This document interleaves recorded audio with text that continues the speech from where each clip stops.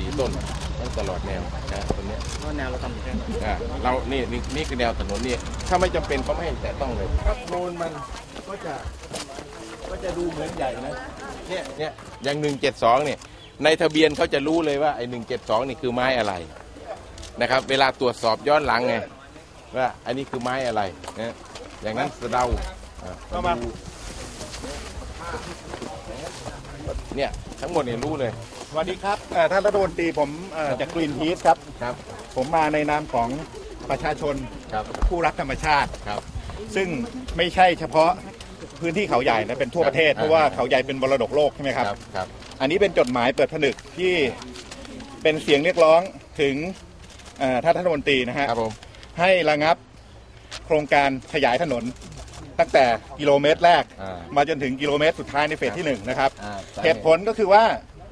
โอเคมันไม่ได้อยู่ในอุทยานครับนะครับ แต่ว่ามันจะนำไปสู่การเป็นบ่อนทำลายในการเรื่องของการรักษาความหลากหลายทางชีวภาพของมรดกโลก ผมเข้าใจ ในพื้นที่เขตกันชนนะครับ แล้วผมคิดว่านี่คืออ่าเป็นอาชญากรรมสิ่งแวดล้อม เรานำความเจริญเข้ามา แล้วมันจะเป็นปัญหาในอ่าเรื่อง พอความเจริญเข้ามามันก็ลดมากขึ้นมลพิษภาวะซึ่งมันกระทบสิ่งแวดล้อมอยู่แล้ว ผมไม่ปฏิเสธ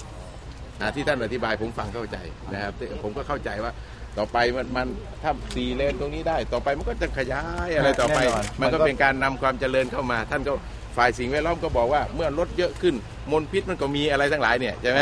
แล้วก็มันมันก็อ่าทำให้ระหว่างสมมุติว่า รถวิ่งเยอะขึ้นอ่ามันก็จะ ท่านความหมายของท่านมันก็ไปกระทบ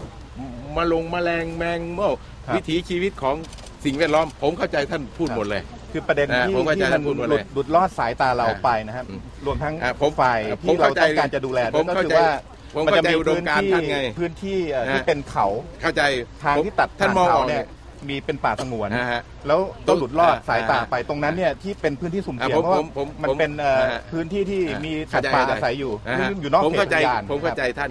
สิ่งไหนที่เราจะได้ช่วยกันอนุรักษ์สิ่งแวดล้อม โดยเฉพาะโดยเฉพาะตรงรอยต่อตรงเนี้ยถือว่าเป็นทรัพยากรที่มีคุณค่าสำคัญ ครับก็ต้องทำแต่ถูกก็ตัอดงไปแล้วทำเป็นจำนวนมาก อ่าก็ต้องทำตัดก็ตัดตามระเบียบนี่แหละ ตามฝากนะฮะอ่าถ้าถนนเส้นนี้ยังไม่หยุดขยายเนี่ยอ่าฮะ ผมคิดว่าประชาชนทั่วประเทศจะลุกขึ้นมา โอ้จริงๆจริงๆครับจริงไม่ได้กันๆจริง ๆ ครับ นั้นเราคือเราเรารักในผืนป่าแห่งนี้ เรารักในธรรมชาติแห่งนี้จริง ๆ ถามว่าความจำเป็นไหมผมว่ามันไม่จำเป็นเลย ถนนที่มีอยู่มันเพียงพอแล้วล่ะครับ มันก็ไม่ได้ติดอะไรมากมาย ผมว่าถ้าติดบ้างสักนิดมันก็ดีนะครับ อุบัติเหตุมันก็น้อยลงนะครับ ค่อย ๆไปแล้วก็ธรรมชาติเราก็ยังเห็นอยู่ เรายังบอกลูกบอกหลานได้อยู่ว่า นี่คือต้นอะไรต้นนี้เรามีอยู่มากี่ปี ผมบอกได้เลยว่า คุณสร้างถนนไปแล้วคุณปลูกขึ้นมาใหม่อะ ผมตายเกิดใหม่สามรอบไอ้คุณปลูกขึ้นมาใหม่ มันยังไม่โตเท่านี้เลยครับ อย่าตัดเถอะครับขอนะครับ ช่วยกันรักกัน แล้วก็แล้วเราจะไม่ได้มาบอกเลยว่าปากช่องเป็นโอโซน หรือว่าเทือกเขาใหญ่เป็นโอโซนแห่งหนึ่งของโลกเอ่อเหตุผลที่กรีนพี e มาแสดงบทบาทในวันนี้เนี่ยเราในฐานะที่เป็นองค์กรรณรงค์ด้านสิ่งแวดล้อมเนี่ยเราคิดว่าการขยายถนนในเขตพื้นที่กันชนรอบ พื้นที่ป่าอนุรักษ์อย่างเช่น อุทยานแห่งชาติเขาใหญ่เนี่ยมันเป็นตัวบ่อนทำลายความพยายามของนโยบายของรัฐเอง ในการปกป้องความหลากหลายทางชีวภาพ ถนนเส้นนี้คือมันมีคุณค่าทางจิตใจของเอ่อของคนเขาใหญ่ของคนที่รักเขาใหญ่ ไม่ว่าจะอยู่ในพื้นที่หรืออยู่นอกพื้นที่ก็ตามนะครับ แล้วก็เหตุผลที่กระทรวงคมนาคม หรือกรมทางหลวงมาใช้อ้างในการขยายถนนก็คือเรื่องของการเพิ่มพื้นที่ผิวจราจร เพื่อที่จะรองรับนักท่องเที่ยวที่เพิ่มมากขึ้น ซึ่งเป็นเหตุผลที่ฟังไม่ขึ้นนะครับ ไม่สามารถเทียบได้กับการเราจะที่เราจะต้องสูญเสียต้นไม้ไปเป็นจำนวนมากนะครับ ซึ่งต้นไม้ในฐานะหนึ่งของระบบนิเวศของความหลากหลายทางชีวภาพเนี่ยมันเป็นมีบทบาทที่เป็น